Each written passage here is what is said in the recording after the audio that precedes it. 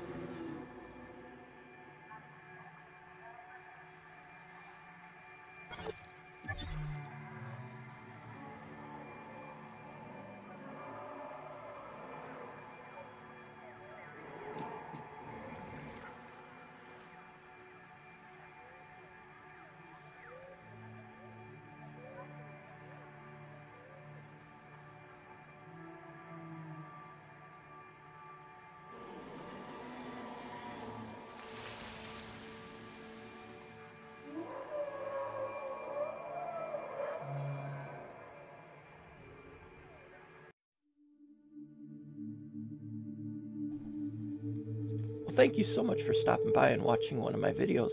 If you're new to the channel, don't forget to hit that subscribe button and the bell icon so you know exactly when the next video comes out. I do offer a wide range of different kinds of videos, so check out the playlists and you might find something else that you like other than this kind of video you watched today. Thank you so much. Comment down below what you thought or just say hi. Have a great rest of your day.